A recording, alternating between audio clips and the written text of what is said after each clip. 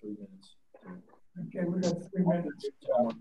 The stream Does anybody uh, get to? We're gonna go live in a couple minutes. He's sending up, uh, Brad's sending it up now for YouTube. So we're gonna be live in a minute.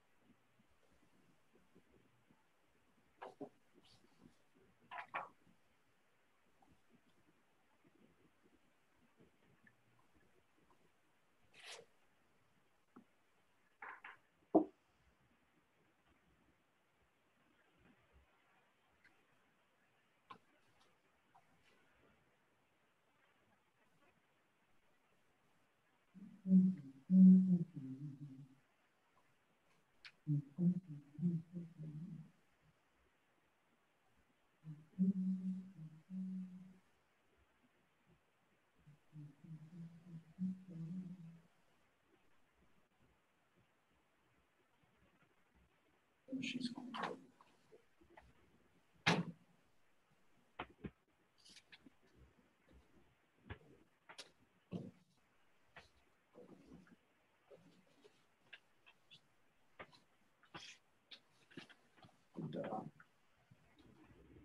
Can I show you this? Yeah, I got it. Okay.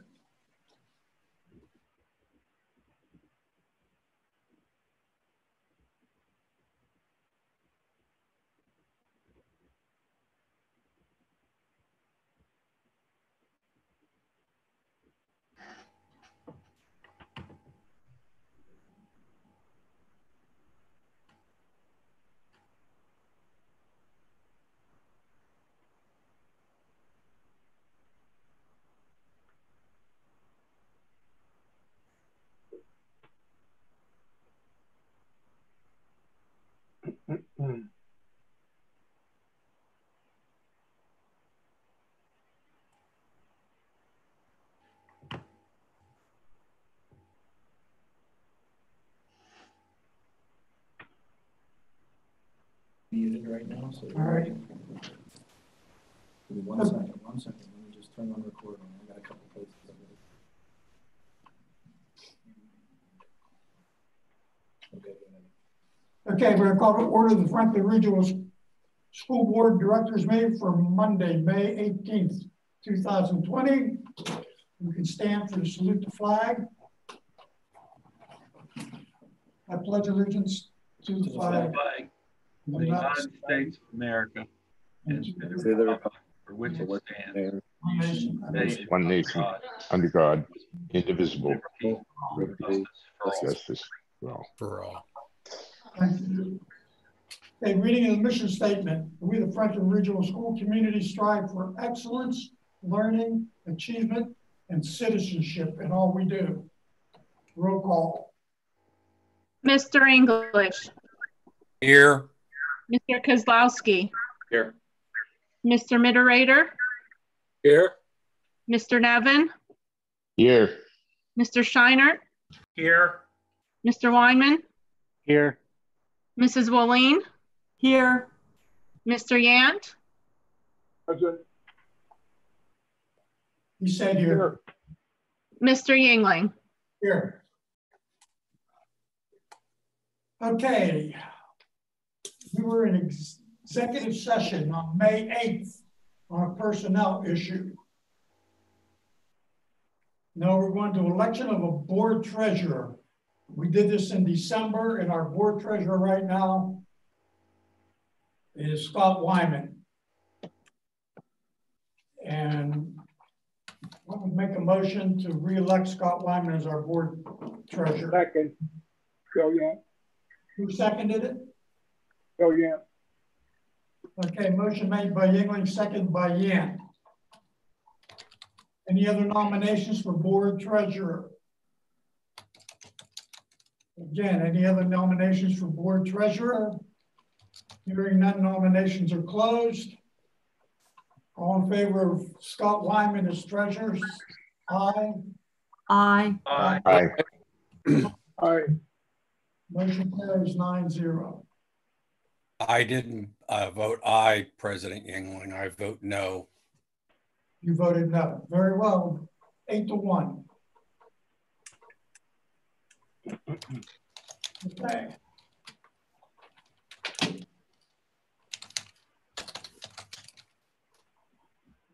Superintendent's report, Dr. Piraino. Good evening. Um, I, I'd like to turn this over to Nancy, Nancy Gorgas. Uh, last, at the last meeting, I forgot to give her the opportunity to present an update on the Sloan uh, project. So at this point, I'm going to turn it over to Nancy. Uh, and Mr. Uh, Schreckengoss, if you could bring up the presentation on the screen, that'd be great. Yeah. On the presentation. You're on mute, Nancy. Uh, Doc, I I don't. can also present. I just asked to be- be allowed to present. Oh, okay. Oh, okay. I see. Can, can you give her rights to pre present from her screen, screen, Mr. Schreckengoss? I'm doing it right now. All right, thank you.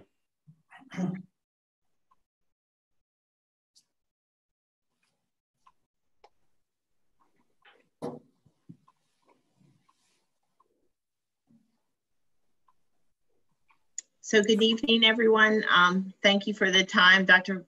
Piraino, thank you for uh, giving me the opportunity to present uh, today. Um, I did update the slideshows, so the ones that I had prepared for the fourth, hopefully you guys received, and this is uh, current update as of today. So for the primary school, uh, we have completed the phase 1C. All the classrooms are done and the district has been able to um, go ahead and move um, the teachers' um, furniture and uh, materials into those classrooms. And they'll be ready for uh, a start of school in August. Um, hopefully um, the kids and the students, or sorry, the teachers and the students come back in August. Also for phase C, we phase C, 1C, we actually started the um, uh, outdoor uh, exterior siding um, on phase 1C. We're starting with 1C, but then they'll continue into 1D as well as over at the cafeteria addition. So at the cafeteria addition, this is just uh, what it looks like. This was as of Friday of last week and we are working on drywall finishing as well as some mechanical uh, rough-ins. You can see the new ductwork in there. For the admin um, addition, uh, we have um, continued with drywall finishing. Um, this uh, picture here to the left is the entrance, and you'll notice that uh, we have opened the addition into uh, the existing school. And then this is on the right-hand side, this is actually the Creative Arts Center, so that there's some uh, bulkheads and some drywall here that's been finished. And then we continue with some of the final uh, mechanical systems in the addition um, duct work and uh, piping for some of the mechanical systems, as well as the cabinet unit heater is here in uh, the vestibule. They also installed last week the storefronts. Um, the glass will be um, installed soon. In phase four, which is the gymnasium, um, the general contractor has actually started opening um, the, and taking out the uh, wall um, that will go from in from the from the gym into the Creative Arts Center. And here is this is a little closer to the opening um, from the phase 1D section. You can see um, to the right um, where you can now enter into the gymnasium as well as um, moving forward into the main um, portion of the school. For 5A, 5A is a library. Um, they have completed all the demo work for, for the, the library. and the mechanical systems have begun. Um, uh, fire alarm and lighting uh, rough-ins. Um, you can see canned lights in the photo over to the right. It's really difficult to see in this picture, but we also have um, the sprinkler lines uh, run in this bulkhead. And then this is uh, one of our temporary classrooms, which we established at the very beginning of the project. This is a classroom that's now been moved into the 1C edition. And so we have taken over and, uh, and uh, done the demo in these temporary classrooms. These will all be a part of the library. 5B is um, underway. All the demo is complete and we're working on mechanical systems. This is one of the um, restrooms, so all the plumbing rough-ins, as well as hot and water, uh, cold water piping up here in the ceiling on the right-hand side. Again, here from mechanical systems, we have um, another unit heater um, at the exit. And um, again, a gentleman uh, working on piping um, for mechanical systems. As well as our electrical contractor, this is one of the new panels that run in wire. And um, on the right-hand side, um, some of the lighting, wiring rough-ins for the overhead for a classroom. GC has also um, installed as a part of the framing, the, the, all the door frames have been installed in this area as well. 6A, uh, this is the admin portion of 6A. 6A is the main portion or main phase that was gonna take place over the summer. Um, this is one of the areas that we got a jump start on. Um, we've completed majority of the demo. And um, you can see this is the original front entrance. And um, this is where the, um, here to the, kind of in the center here is where the administration principal's office um, was previously. So our plumbing uh, contractor has run all of the plumbing underground. This is where we're going to have a large gang restroom, restrooms. Um, this is this wall here to the uh, far left is um, an adjacent wall to the gym. Um, so this will be one of the few places where we're gonna have a, a large um, gang, what we would call a gang restroom. And uh, all in the same day, they had it all prepped and ready and then they, they've done the concrete patching as well. Sorry about that. Um, we also have received um, and have some rooftop units that are ready to be installed. Once um, we're ready and, and the mechanical rough-ins are ready for that, they'll bring another crane in and these will be set on the roof. Our site work has also um, started ahead of schedule um, because of the uh, students and teachers not coming back. Um, so this is one of the retention ponds. We needed to have this complete um, prior to them actually starting the parking lot areas uh, for the primary school. And as a part of this, all new sidewalks um, are going to be installed. So they have completely demoed all of the sidewalks that were in the front of the building originally. This is still the same construction costs based on our um, April pay apps. This is the same one that was included in your uh, slideshow that was, was provided for the fourth, as well as the same um, change order summary. As far as overall, um, we're at 175 days with no recordables for the project. As I stated before, 1C is complete and all of our ongoing projects, phase 1D, 4, 5A, 5B, and 6A are all to be finished for the start of school. One little caveat, we are um, going to have the 5A class uh, phase, since that's the library, our, um, our plan is to have that done in July to allow the district the time that they need. Um, the library, because of the amount of work associated to doing that move in, we're gonna have them uh, turned over so that they have the time to do that move in. Moving forward, um, area A for the cafeteria, they'll be finishing up the drywall, um, painting, and as I mentioned before, those exterior panels will um, be finishing up getting the exterior skin complete. Um, phase D addition will be painting. We'll start the ceiling grid. Um, like I said before, we'll have storefront glass installed as well. They'll be finishing up the demo of that wall between uh, the gym and the Creative Arts Center in phase four, as well as the mechanical rough-ins. For 5A, we have a little bit of interior framing to complete, and then they need to finish up all of the mechanical rough-ins in there.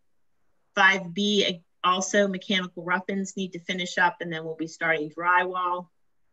And then 5, 6A, they'll be continuing with mechanical rough-ins and uh, starting their interior framings interior framing there. Does anybody have any questions associated to the primary school before I move on to the intermediate? Nancy, this is Paul Shiner. It looks like the, the progress has been really excellent. Um, and I see a lot of completes down there under the schedule section. It, what is left to do after school theoretically would start in August over at, uh, at the elementary school? So once school begins um, and we, the 5B phase, those classrooms will allow the, the remaining classrooms that we need to renovate to be moved into those um, 5B classrooms. And we'll start phase 6B, which is the remainder of all the kind kindergarten classrooms on that a area A uh, portion of the building. We will also have the kitchen renovation. Um, we have a number of restrooms um, that will need to be renovated and the finishing up of um, all the corridor spaces. Um, those are primarily the areas we will have um, the majority of um, the renovation completed by the end of this uh, phase, or sorry, this summer. But um, I believe that um, I did provide two different phasing documents that I hope was shared with the board. One is where we currently are, and then the other is one showing what the school will be, what's going to be complete and the remaining phases for um, the remainder of the year. Um, so hopefully that, if you could reference that, and obviously if there's any additional questions, by all means, uh, send them to uh, Mr. Heck or Dr. Piraino, and I'm sure they'll forward them to me to, to um, answer. So I guess I'm uh, concluding that we're at least on schedule or in some instances ahead of schedule.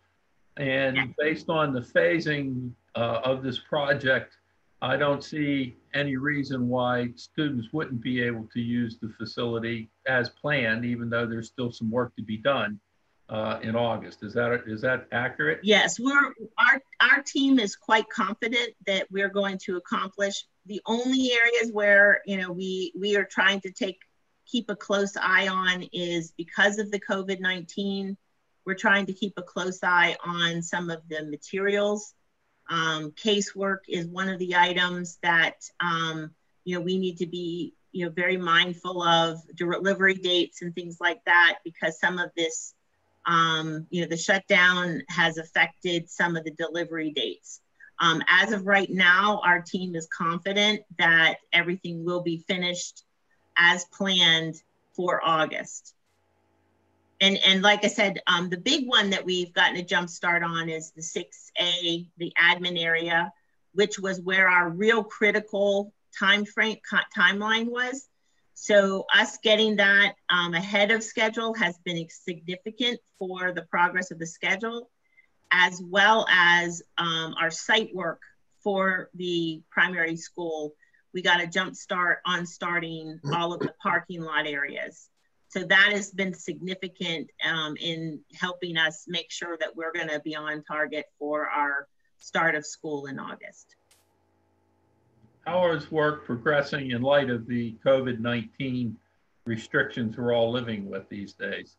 The Um, so-. Yes, so one of the very convenient things for the Sloan, the primary school for us is because we have so many phases, currently underway. Um, what our team has been working on is allowing one set of contractors, you know, one contractor in each phase um, to allow that social distancing as best we can.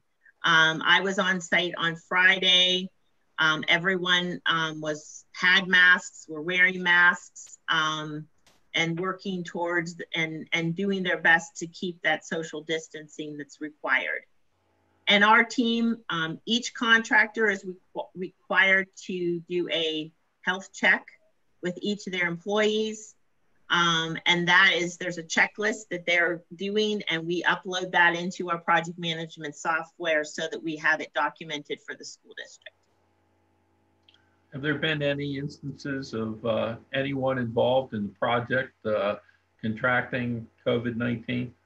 As of today, we have no uh, circumstances with anyone, not only no one, um, anybody that was of concern. I think we had one individual who was in contact with someone who possibly had COVID, and the test he was he was told to stay home, and the testing came back negative. And then we had another individual who called in sick.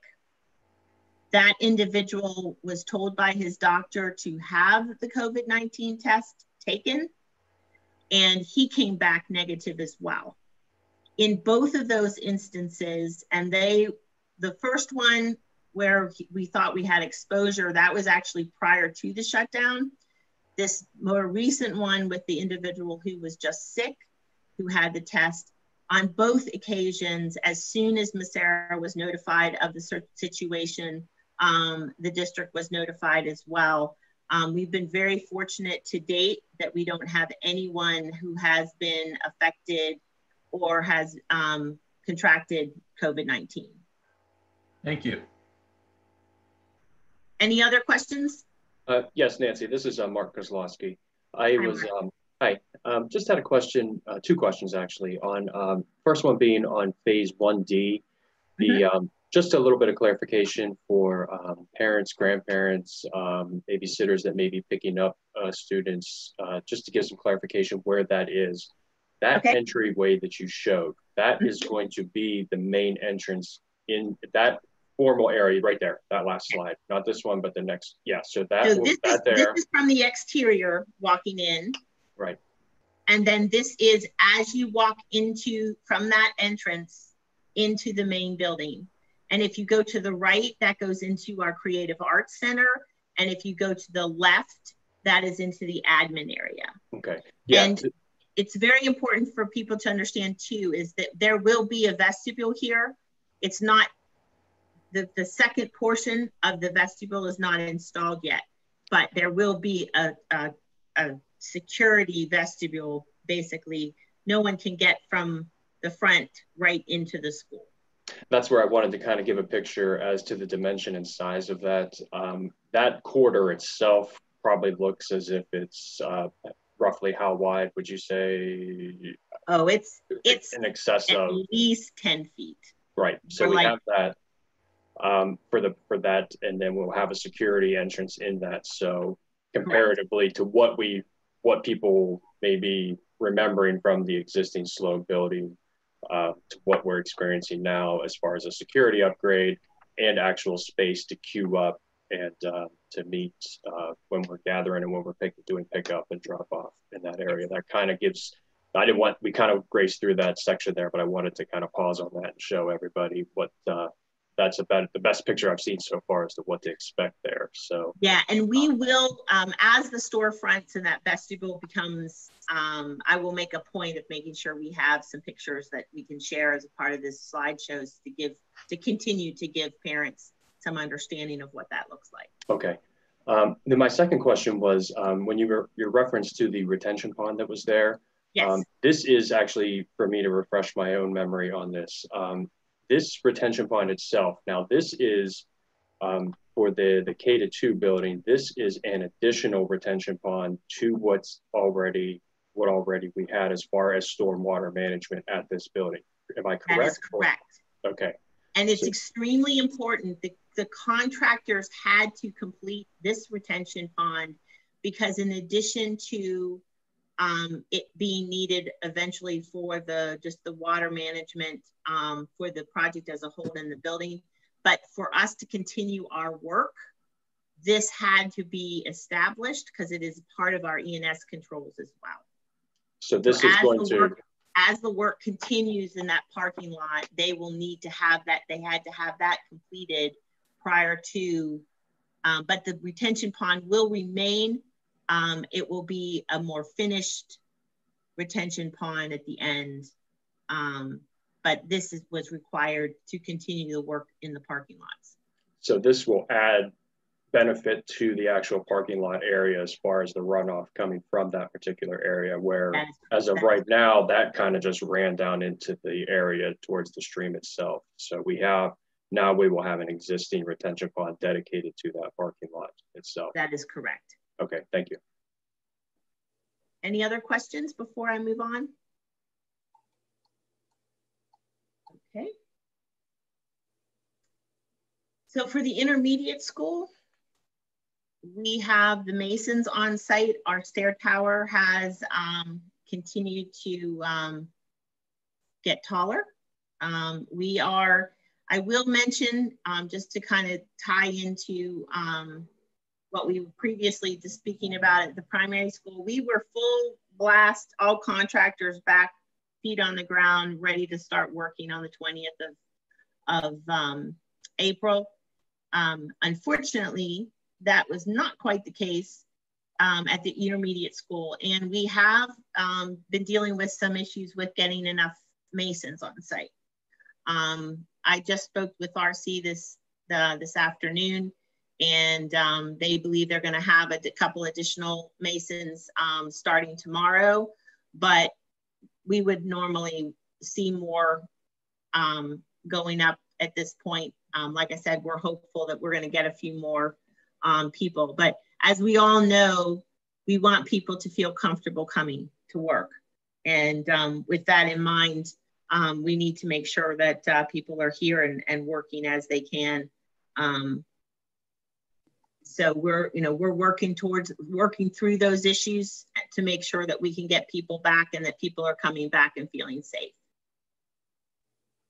Um, they also have um, started the masonry um, uh, for the uh, elevator pit, pit so this is where the elevator pit is in conjunction to that stairwell this is all considered part of area area b and as I'm sure those of you who drive by the site, you've noticed that we have a tremendous amount of steel work going on.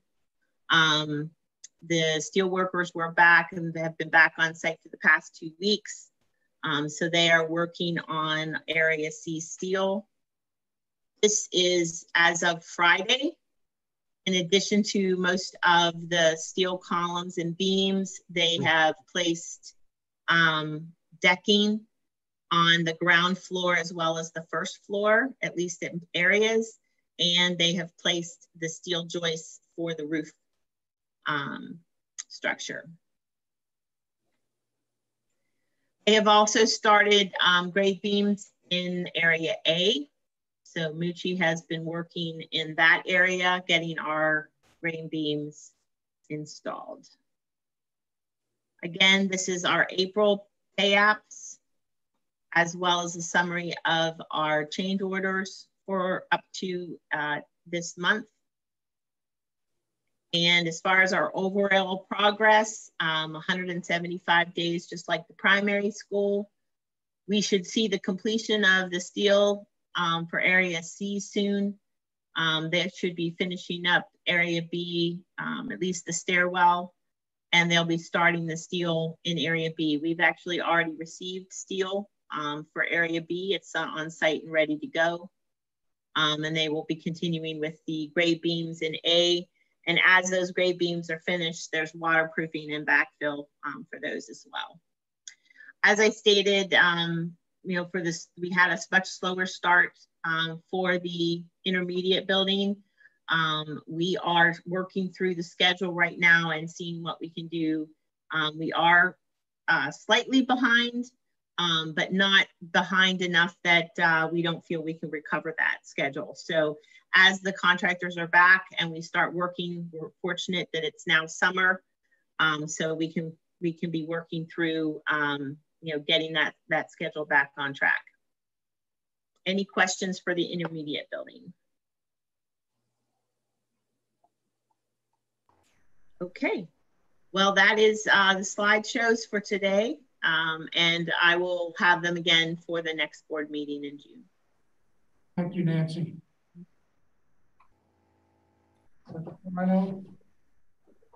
Mr. President, that concludes the superintendent's report for this evening. Okay, Nancy, again, thank you. All right. You're welcome. Mhm.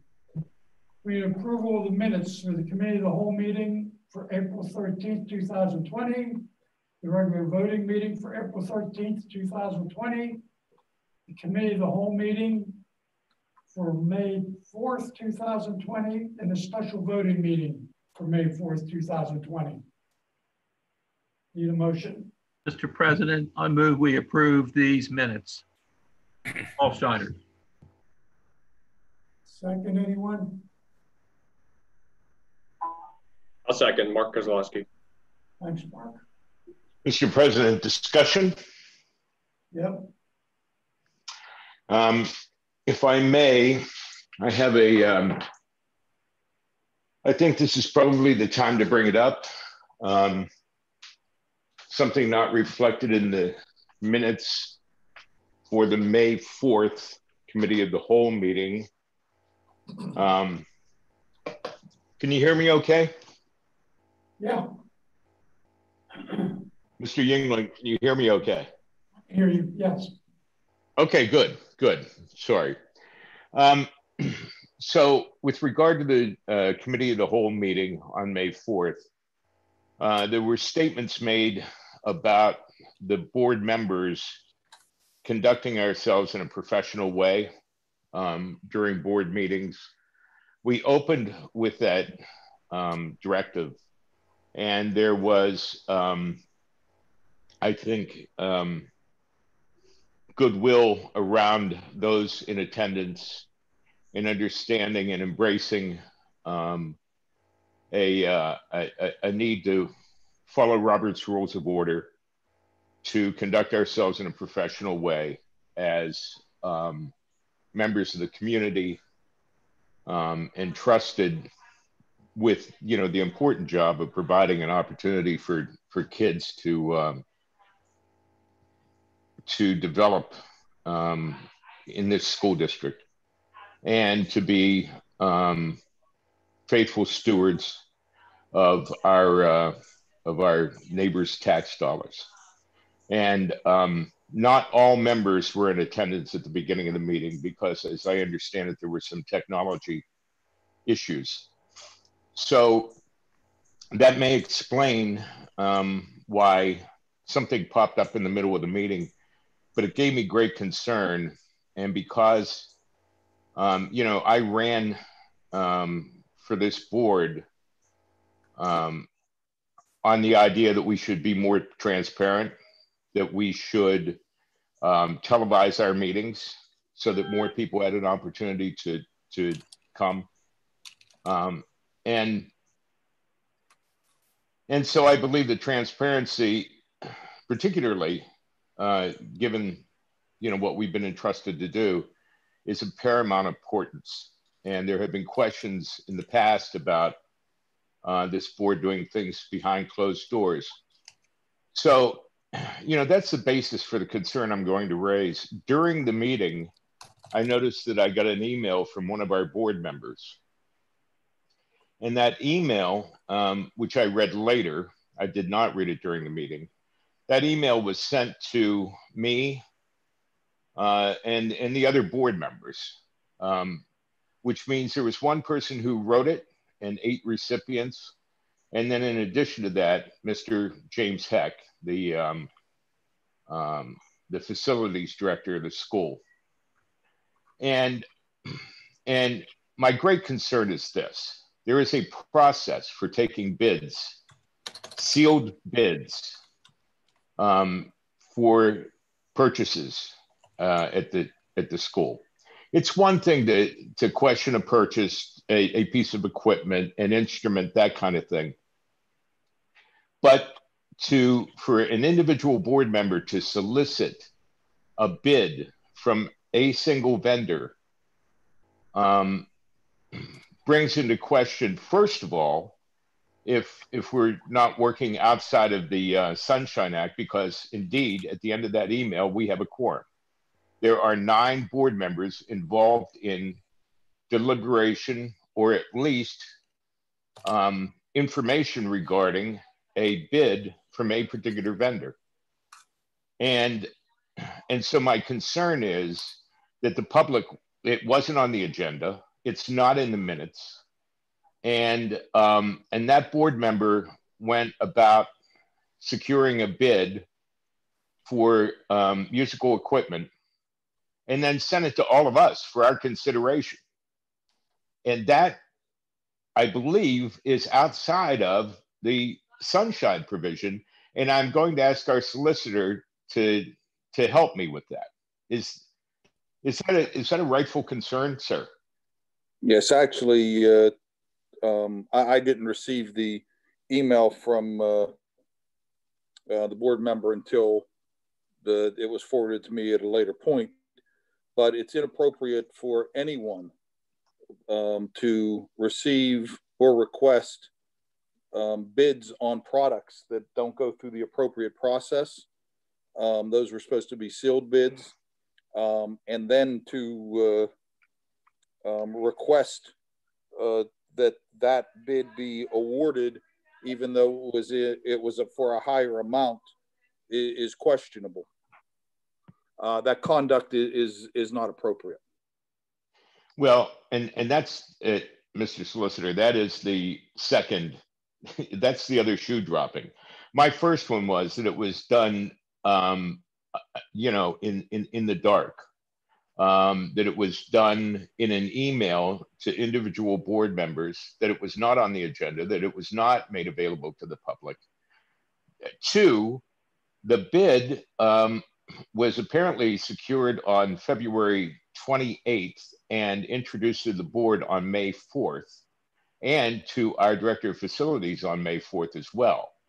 Um, and so I, I wondered about the timing of that um, if indeed it was a good natured attempt to save the district and thereby the taxpayers some money.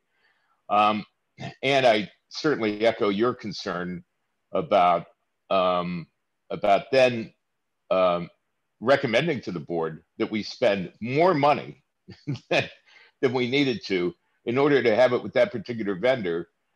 Especially, you know, my here's my big concern um, it, it, it may not be anything inappropriate, but at least it, it has the appearance of impropriety for a document with a vendor's a, a document with a vendor's logo addressed to a single board member to to, uh, to the attention of accounts payable at the district address but to have that logo and that board member on the document it's almost as though that board member is acting as an agent for that vendor.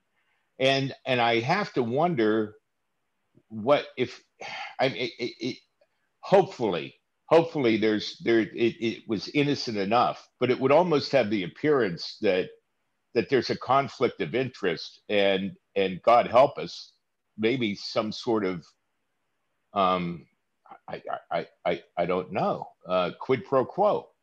I, that that's what it looks like. It looks sketchy, and so um, I wanted to raise that as a concern, and and and question the ethics of such a move, and and ask for your legal opinion of that.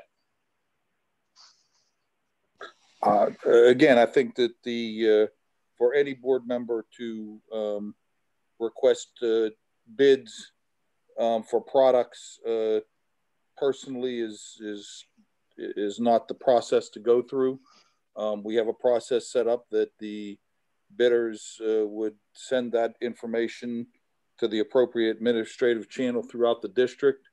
Um, it, you know, ethics, I, uh, you know, can't give an opinion on what the ethics commission would do um, with that with that issue, but I think that it's inappropriate it, it uh, to conduct uh, that in a manner that those bids go to an individual, and then um, for the individual to uh, attempt to have that bidder awarded um, a, a, bid in excess of what other bidders that went through the appropriate channels um, that that's bids were less uh, for him to request to award to that person, I think is uh, uh, inappropriate. Well, thank you. And I don't, and, and it was not my intention, and I and I haven't called anybody out by name because I'm not looking to out him or her in that way. I'm just hoping that it was a one-off mistake and that it never happens again. And that's that's all I have to say about that. Thank you, Greg. Thank you. Any other comments? Okay, all in favor of the approving of the minutes? Say aye. Aye. Aye. Aye. Opposed? Did you say something, Gary? He's on you. Your mic is off. Excuse me. I wish to make a comment. Sorry that the mic was off. I believe that the uh, the um, verbatim versus abstract or the abstract minutes do not accurately reflect the meetings, uh, and that more transparency is lost when we don't read in the public comments. Uh, therefore, I will be voting no uh, on the approval of the uh, minutes for the. Uh, That's your prerogative. Very good. Motion passes eight to one. Okay, Dr. Piraino, reports and information, future dates. Good evening again. Uh, future dates include May 21st, 1st, 2020, a Finance Committee, committee meeting online at 1.30 p.m. Um, and we will be posting that, that information uh, for, for, the public uh, after the meeting. So, so we will record that meeting and, and show it after.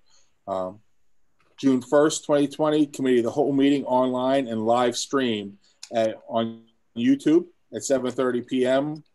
Then on June 15th, we'll have our regular voting meeting online and live streamed uh, as well at 7.30 p.m. In regard, regard to upcoming topics, we will have personnel, college and high school agreements, NIMSY, a continuation of support, appointments and contracts, the 2020-2021 bill paying resolution, gifts, grants, and donations, budget transfers, and PSBA voting delegates. And it's important to note that the PSBA conference this year uh, will not occur. Uh, it'll, it'll, be an online event as opposed uh, a web-based event as opposed to being in person. Thank you, and that includes uh, reports and events. Dr. Piraino, just a quick clarification. The PSBA voting delegate meeting, is that the one that's normally held in October, the one I've attended in the past couple of years? Correct. Thank you. Okay, Dr. Brenner, thank you. Okay, financial reports. I need a motion to approve the Treasury report for April 2020.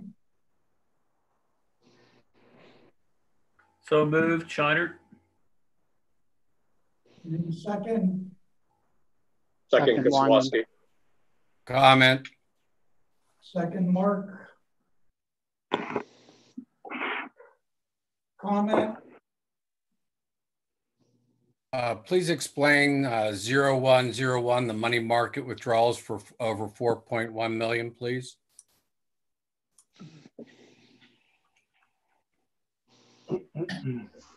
we have multiple bank accounts with First National Bank, which is our primary depository.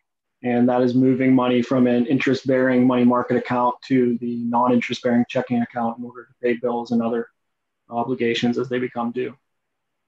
Uh, Mr. Perry, then is it my um, understanding that you're clearing out these funds for paying of bills?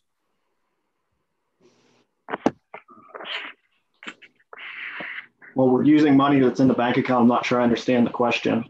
Well, from what I uh, understand, it looks like that it will be a zero balance in these accounts to pay the bills. Is that correct? No, there will not be a zero balance in that account.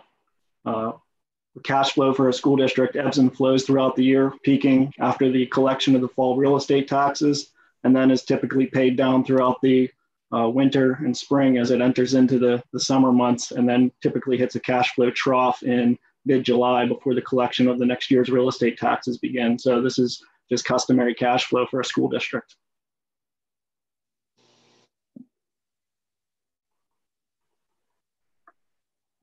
Okay. Need a motion to approve the treasurer's report. Oh, but we already have a motion and second. All in favor? Aye. Aye. Aye. Opposed? Aye. Motion carries nine zero.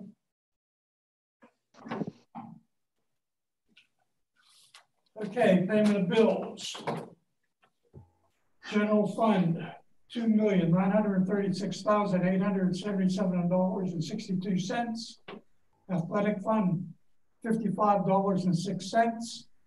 Capital reserve fund of one thousand four hundred and ninety-three dollars and one cent. Construction fund of seven hundred and sixty dollars and fourteen cents for a total of paid bills of two million nine hundred and thirty-nine thousand one hundred and eighty-five dollars and eighty-three cents. Unpaid bills, general fund of four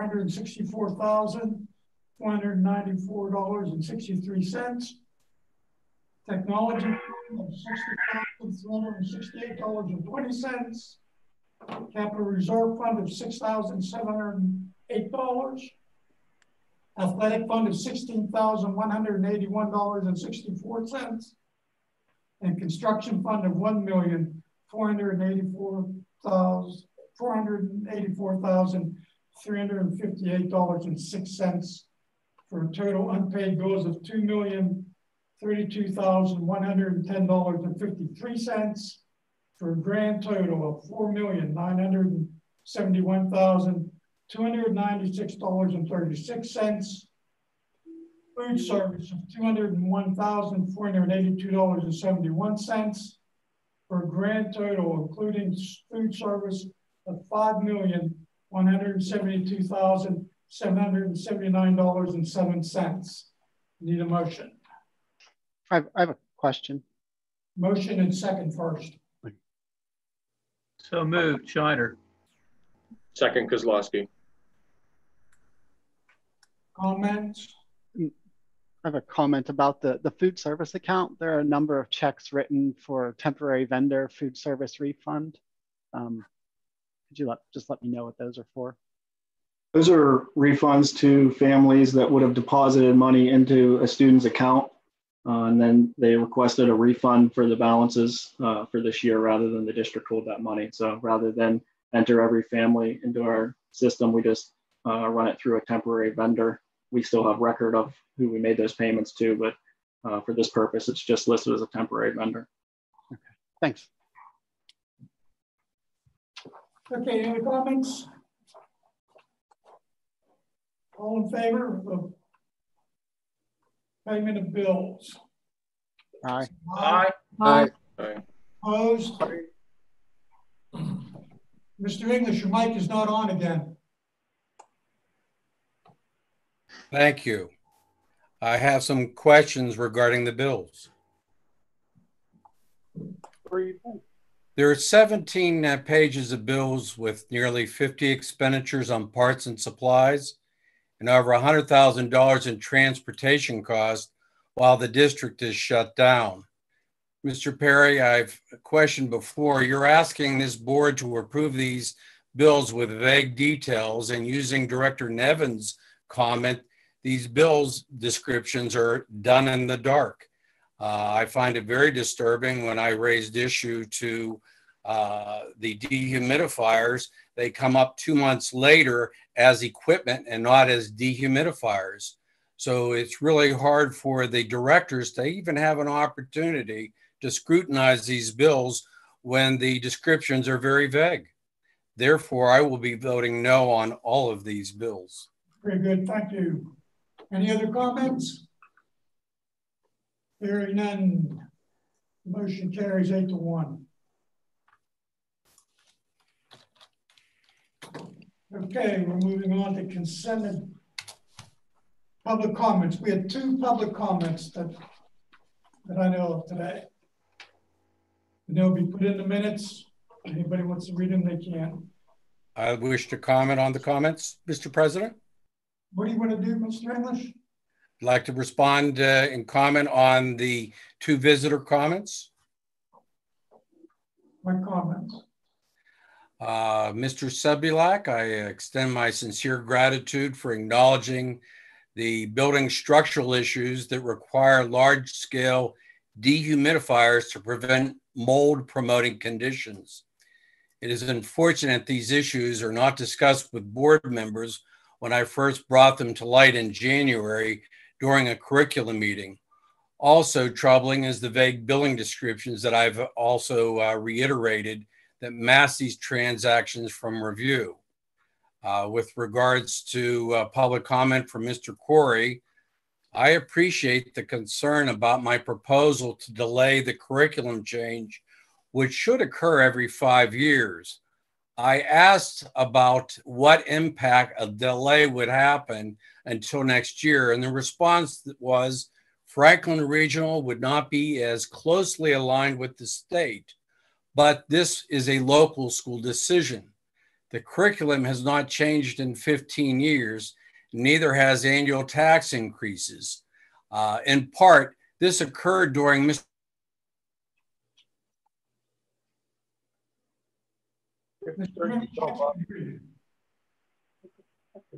I can't hear you.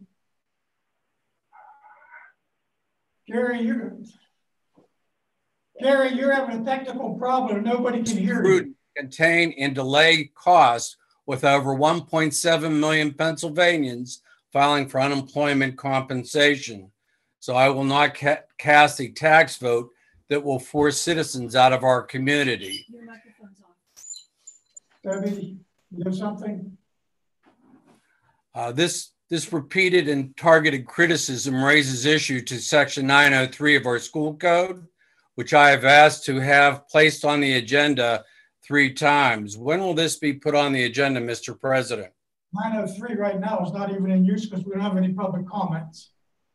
We do have written uh, public comments, Mr. President, and I've made three requests to have my old business put on the agenda, and I've waited a couple months now. I will send you another request tomorrow. Excuse me? I will send you another request tomorrow. Okay, Mr. President, yes. uh, this is Mark Kozlowski. I would um, also, I can uh, make a few, uh, just a quick comment uh, regarding the uh, uh, public comments there that um, Mr. Sebulak had issued. Uh, what I've um, what I've uh, experienced uh, looking through the different schools is that um, one of the buildings that also requires humidifiers is the Heritage Elementary School that we use. Um, that was the school that contained the music room that was referenced uh, just previously in comments. Um, so that is a school that is being directly addressed right now through the capital improvement plans that we are undertaking. The uh, the board is moving forward with capital improvement plans. There are dehumidifiers in those buildings, so um, I don't know um, what uh, what the uh, intent is on those comments is is to say that uh, um, they, there's not a, a, like to the preference of how we're going forward, but we are moving forward and addressing buildings that uh, require humidifiers, dehumidifiers. I mean, I, I, apologize.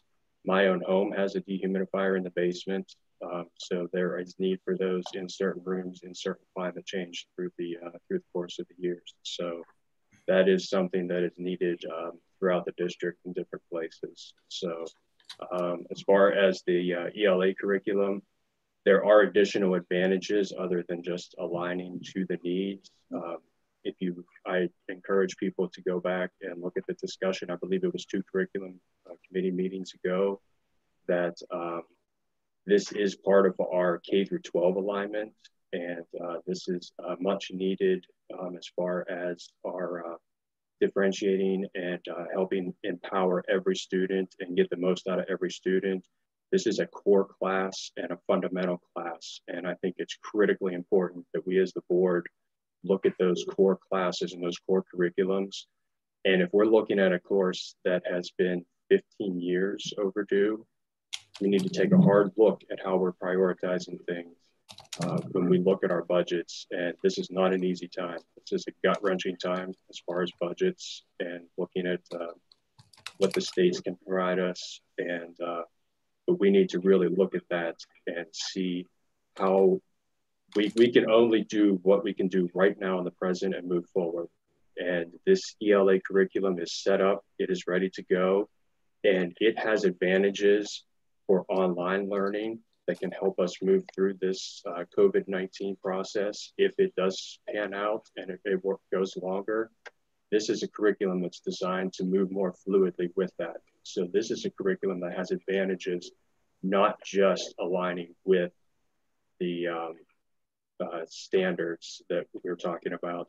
This is something that can help the district provide equitable education as we have to transition, if we have to transition back and forth from a home environment to a school environment and do the best job we can at one of our core curriculum classes. So that's my thoughts on that particular program. Thank you very much. You're right on both cases, by the way. Thank you. Okay, solicitors' comments. I have no reports for the public session at this time. Thank you, Mr. President. Thank you. Okay, consent agenda items. We have 27 consent agenda items. Anybody have any questions or want to want to pull any consent agenda items? I do, Mr. President. Numbers. I'd like to pull items four, five, six, 11, 12, 18, 19, 20, 21, 23, 24, and 26. Okay, I need a motion to approve one, two, three, seven, eight, nine, 10, 13, 14, 15, 16, 17, 22, 25. 18. Oh, excuse, I'm sorry. I said 17. 17, 25, and 27. I need a motion to approve those. Second. Shiner. Who second? Your English. Uh, bef- okay, discussion. I, I, I'd like to pull number seven, Mr. President. All right. Okay, we've got a motion to approve one, two, three, eight, nine, 10, 13, 14, 15, 16, 17, 22, 25, and 27. All in favor? Aye. Aye. Aye. Aye. Motion carries nine zero. Okay, we'll go through these one at a time. Number four. Mr. English. Again, my concerns have been uh, uh, the finances of the district. And uh, because of that, um, it's not a good time to spending $217,000 on the curriculum changes. I didn't ask to cancel, but table it until next year until we get a uh, better feel of where we are financially because of COVID 19. Uh, the same would go with the other uh, curriculum changes. Okay. Number five, Academy Consortium Agreement. You pulled that? Wait a second. Are, are we going to vote these uh, one by one, Mr. Yingling? One by one. Okay, need a motion to approve number four. A motion to approve uh, number four, the uh, grade six to 12 English language arts curriculum, 30 day display. Debbie Willeen, second. Move seconded Any other comments? Hearing none, all in favor? Aye. Aye. Opposed? No, Motion carries eight one. Okay, number five, Mr. English, Academy. What we should, Mr. Yingling, if I may, what we should do is have a motion in a second and then discussion. I'm sorry, I didn't understand what you said, Gary. We should, on each one of these individually now, have a motion in a second and then the discussion period. We should not discuss them until we have a motion in a second on the floor. For number five, Uh, Debbie will lead Nevin, I, motion. Debbie Woolene made made a motion, Nevin second. Lemon second. Okay. Mr. English, Uh, number five, the agreement is for three years. Given the current economics, uh, I don't believe we should enter into a three-year agreement, but a one-year with a two-year uh, additional year option extension until the district realizes the financial fallout of COVID-19. okay, thank you. All in favor, of any other comments? All in favor of the Academy Consortium Agreement, say aye. Aye. Aye. Opposed? No, Motion carries eight one. Need a motion for number six, catapult learning. So moved, Shiner. Second, Kozlowski. Okay, Mr. English comments. I uh, question the increase of 17%. I don't believe it's justified and therefore um, the increased cost, um, I'm voting no. Very good. Any other comments? Hearing none, all in favor of number six? Aye. Aye. Aye. Opposed? No, Motion carries eight one. Number seven, Mr. I I should have said something though. Number seven, Motion to approve? Mr. Shiner made a motion to approve. Need a second? Second. Go, second. Second, Billy Ann. Okay. Mr. Nevin. Sure. Uh, Mr. Youngling, at the last meeting during the committee of the whole meeting, um, we talked with uh, Mrs. Zanella, and she had offered to look into circulation for the um, Tribune Review main sheet, as she referred to it, the main Trib paper, to look at comparative um, uh, circulation within our three zip codes of, you know, Murrysville, Export, Delmont, to compare that to see if indeed um, it, it compared in the way of number of subscribers to the Penn Franklin. And I'm wondering if that information has, uh, She does have that information for you tonight. I'm sorry, Does have that information for you. she does? Yes, Kara? I do. Good Mrs. evening. Zanella? Yeah. Yes, good evening. Um, I do have uh, information. Uh, it was sent to Mr. Yingling. I believe he shared it with the board today. Um, I've tried to speak with the TRIB. The only thing that I couldn't get for you was a breakdown of the circulation per community that Franklin Regional serves. Uh, when I was, I asked Hmm. three different departments for that, and they were unable to give me. They they just give the general uh, breakdown on on the number of uh, newspapers, hard copy newspapers that are circulated. But I also managed to get digital. So if the board would indulge, I have I can have Mr. Sharkengoss bring up the uh, slide so that everybody can see it, and I can talk my way through it if that's agreeable to the board. It's fine. Sure. Okay, so if you take a look at the, uh, when we had to, I, the board was given this in a different format, but for uh, the Zoom meeting, we had to break this down. So we'll start with the Penn Franklin, where uh, the Penn Franklin has been the paper of record for a number of years for Franklin Regional. It is a paid subscription. Its total print uh, circulation is 4,000, with the FR communities uh, having 2,500 of that share. And they do not have digital users, which means their newspaper is not online, it is hard copy. The legal notices are what are what are um, typically called classified rates.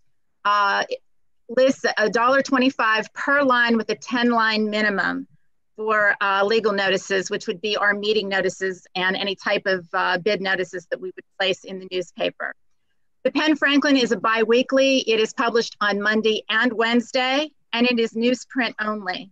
And it is considered a second class newspaper as far as its mail code goes. Now that that's going to become important in a moment. The Tribune Review, it is uh, also paid subscription. Its total circulation is 43,293. And again, I stated that they uh, said they do not release the print circulation for individual communities. However, I did speak with their digital manager uh, and I talked with him at length, and he was very kind to give me uh, an average user rate for uh, the digital version of the Tribune Review for our area. And I was surprised to learn that the average is 44,000 users per month, which is pretty significant. So people are moving to an online medium uh, with the Tribune Review. There are legal notice, uh, notice rates uh, for classifieds, uh, logs in at 475 per line, that's weekdays. And if you run them on Sundays, the no notices on Sundays, uh, it goes up to 525. Uh, again, the, the publication frequency is daily. They are a Monday through Sunday paper. They're what we consider a daily newspaper. And their medium is both newsprint and digital. They do both. And they, again, when they mail the uh, newspaper, it is a second class uh, stamp that they use on that postage insignia. The Murrysville Star. The Murrysville Star is not a paid publication. It is free. Its print circulation is 11,373 with that, that amount going, of course, directly to the Franklin regional communities. Uh, again, a digital users was undetermined. He did not have uh, the moment to figure that out for me. The legal notice rate you will see is non-applicable. That is because it is a third class mailing publication. It's free.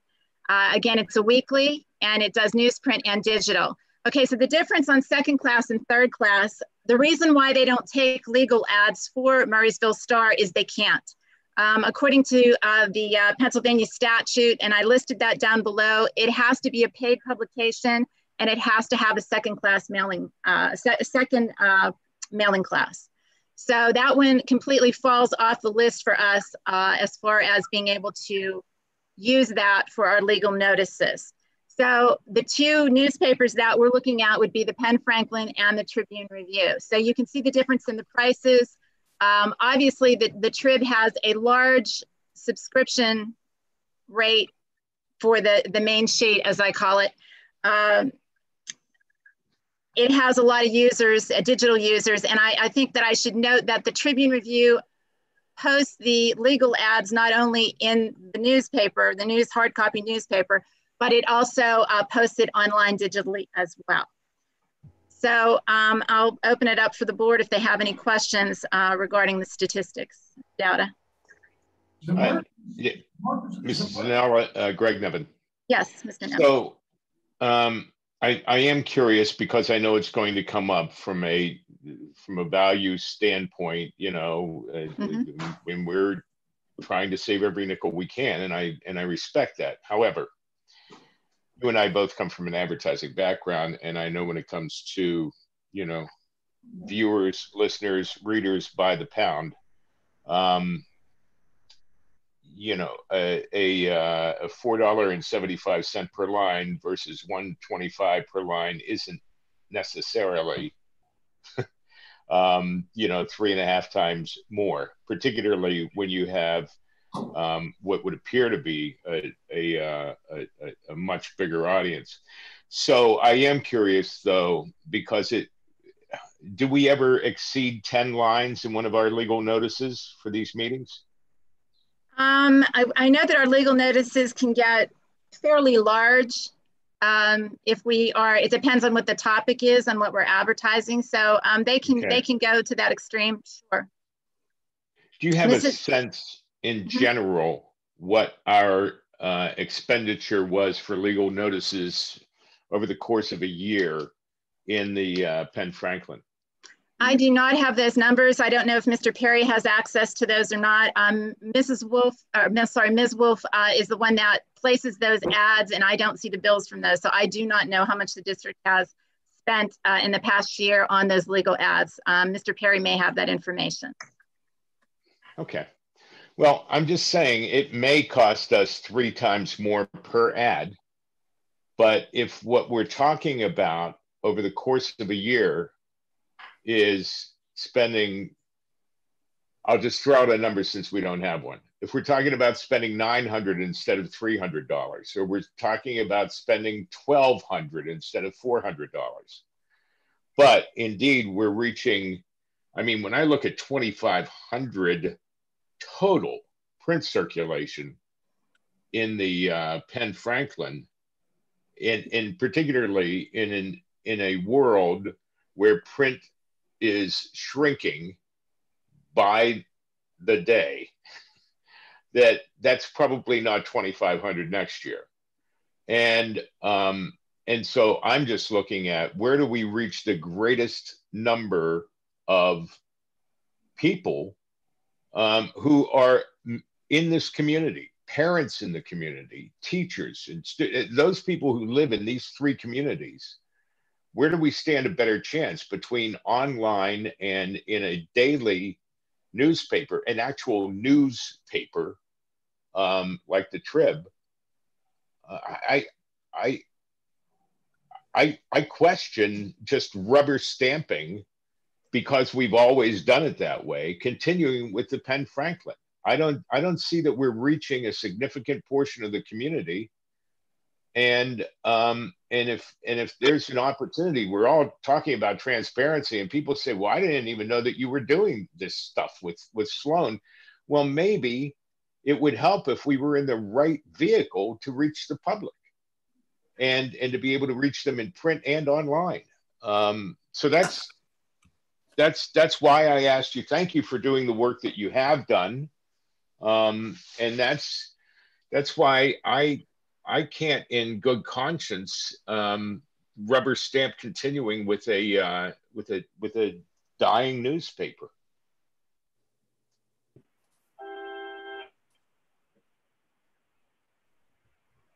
Okay, any other comments on uh, paper of record?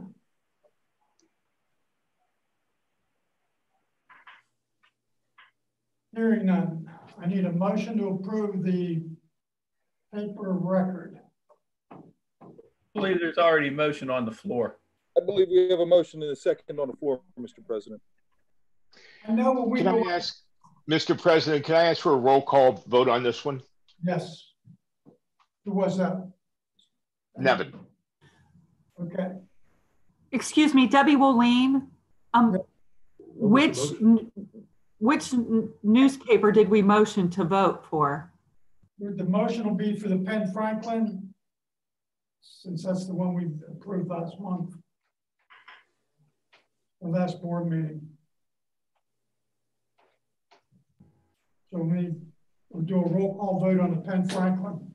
Mr. President, comment?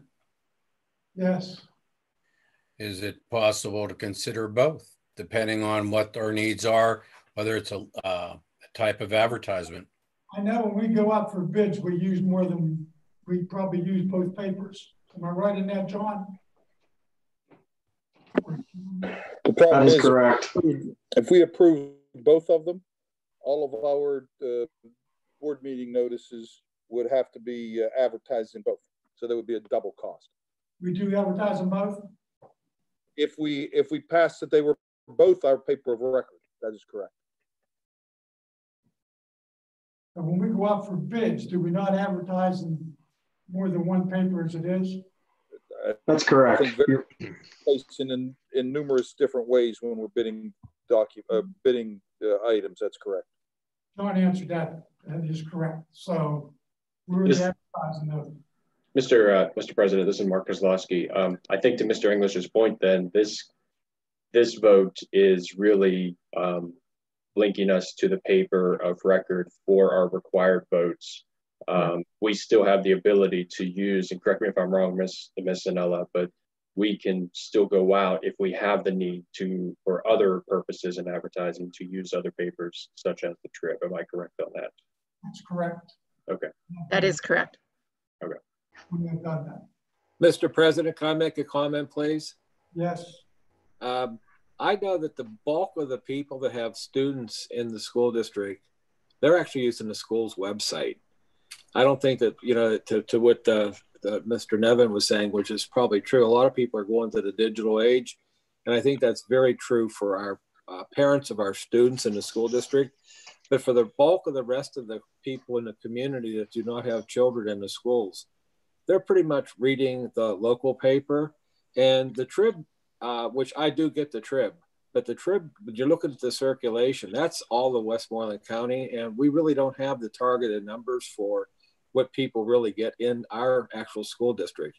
This is just more of a general, it looks like a big number, but that's because we're encompassing uh, the paper of record for Westmoreland County is the Trib, not the Post Gazette.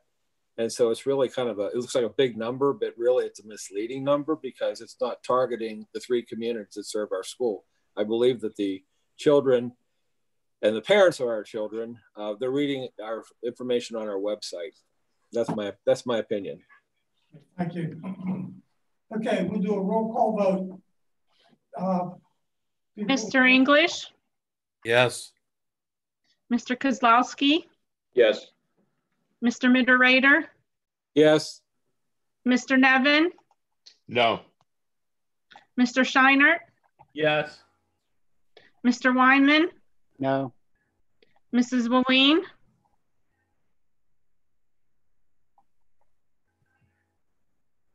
It's three. Mrs. Willeen, Oh, no. Mr. Yant, Yes. Mr. Yingling. What did Bill say? Yes. Okay, yes. So motion carries for the Penn Franklin be paper of record.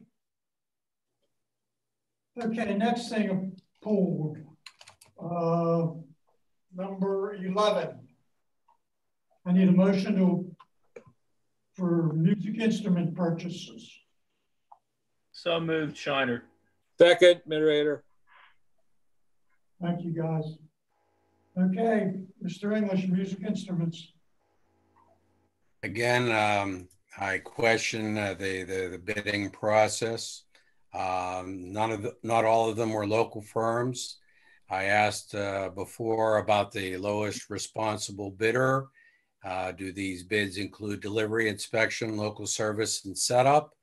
Uh, I've also noted that in today's uh, list of bills, there were repairs.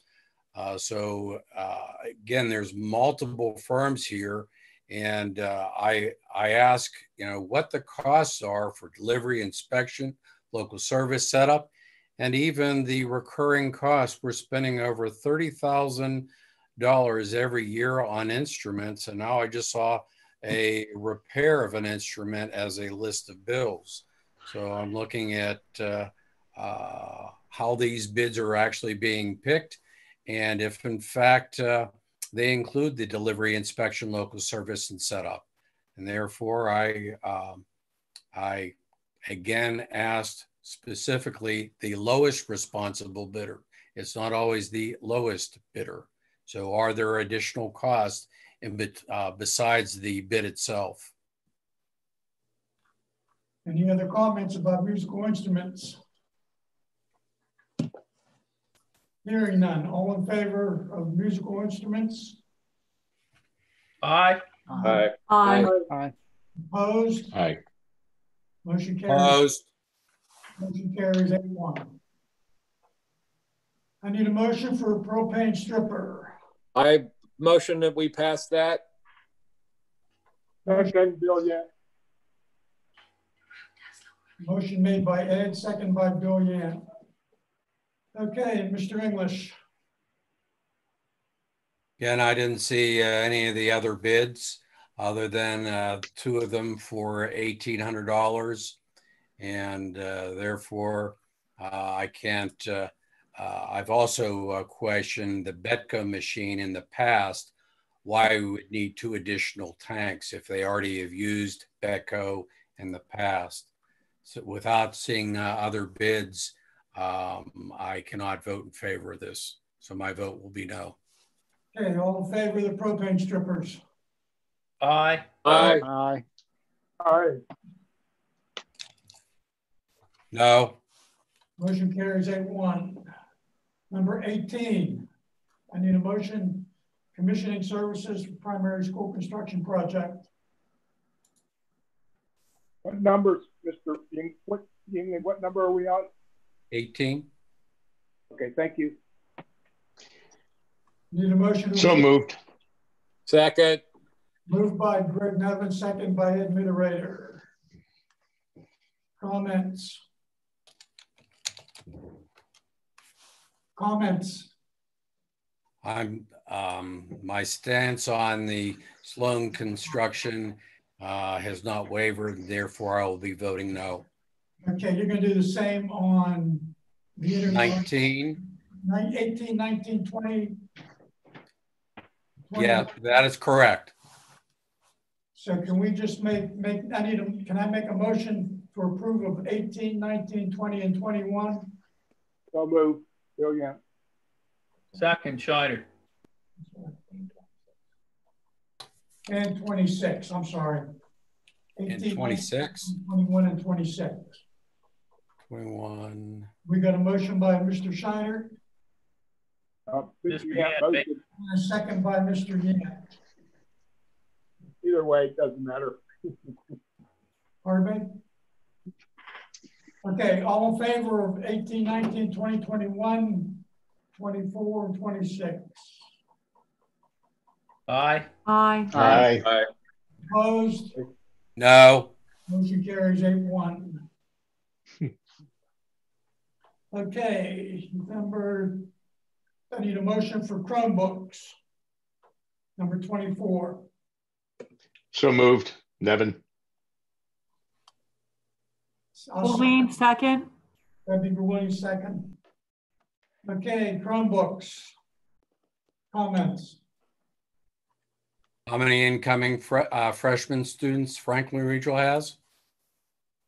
Um, I believe there was two hundred and seventy-eight coming in next, uh, next year, and I budgeted, uh, for ten extra. Um, typically, we'll have a couple kids that'll come into the district, and we might have, if we have any debt on arrival, we'll have something to give those students.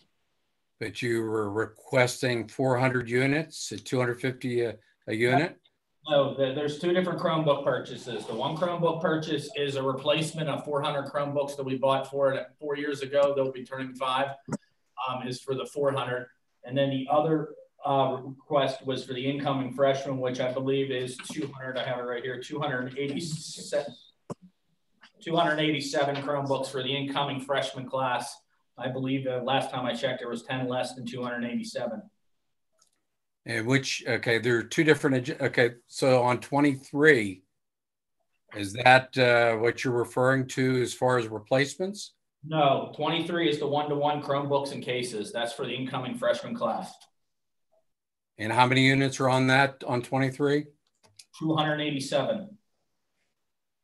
Okay, I had uh, made comments on the 287 uh, on number 23 that the uh, responsibility of the student to take care of those, and I think the nominal cost of $12 per case should be uh, picked up by the uh, the students rather than the taxpayers.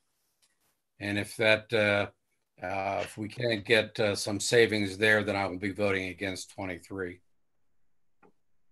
Okay, any other comments on Chromebooks? Did we not already approve 23? We did. Sorry, Paul, what did you say? I think we've already approved item 23. We did. So we're talking about item 24. 24 it was. So I need a vote for Chromebook replacements on twenty-four. All in favor? Aye. Aye. Aye. Aye. Opposed? No. Okay.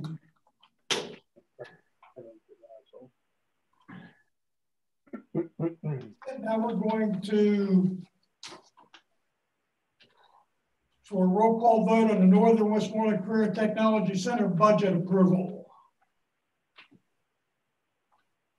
Need a motion for the Northern Westmoreland Career Technology budget. So moved. Move, Mr. Nevin. Pauline, second. Debbie, second. Thank you. Any comments? Hearing no comments, I need a roll call vote. Mr. English, Yes. Mr. Kozlowski, Yes. Mr. Mitterrader, Yes. Mr. Nevin, Yes. Mr. Shiner, Yes. Mr. Weinman, Yes. Mrs. Woleen, Yes. Mr. Yant, Yes. Mr. Yingling. Yes. I need a motion to adjourn. Motion to adjourn. Yay. All in favor? Aye. Aye. Yep. Everybody have a great, everybody have a great Memorial Day. Have You a safe too. one. Thank you. Everybody too. President. God bless you. Harvey? We're done. Thanks, guys. Thank you, Herb. Thank you.